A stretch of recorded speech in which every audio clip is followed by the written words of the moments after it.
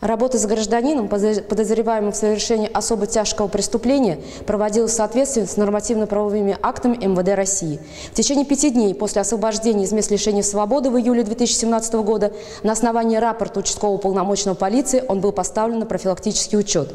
В период нахождения на профилактическом учете его ежеквартально проверял по месту жительства участкового полномочной полиции, что в соответствии требований нормативных актов МВД России. Во время проверок жалоб от соседей на поведение в быту, возможно злоупотребление спиртными напитками, не поступал. К административной ответственности данный гражданин не привлекался. Конкретно оценка профилактической работе участкового полномочного полиции на закрепленном административном участке будет дана в рамках проводимой в настоящее время проверки.